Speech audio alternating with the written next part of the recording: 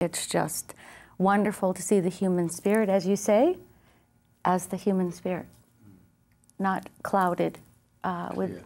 with clear, a clear spirit, yes. And it, and it happens through music, as we discussed um, in many And it, and, and, it, and it's interesting the relationship between the music and the silence.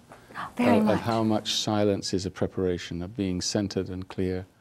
And then the music erupts out of silence and then goes back into silence.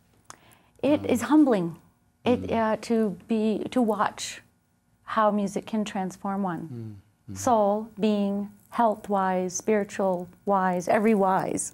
You can see it all over the all over the world how it affects people. They don't even speak your language. I remember a story of um, a man who was dying of emphysema, and I, I, I forget where I read this. A, a nun was um, administering as like chaplain in a hospital.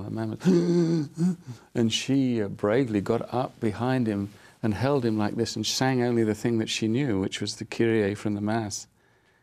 And his breathing uh, became relaxed and the, the pain. I mean, that whole notion of music has a very great power to calm us, to deepen us, to transform us, to challenge us as well.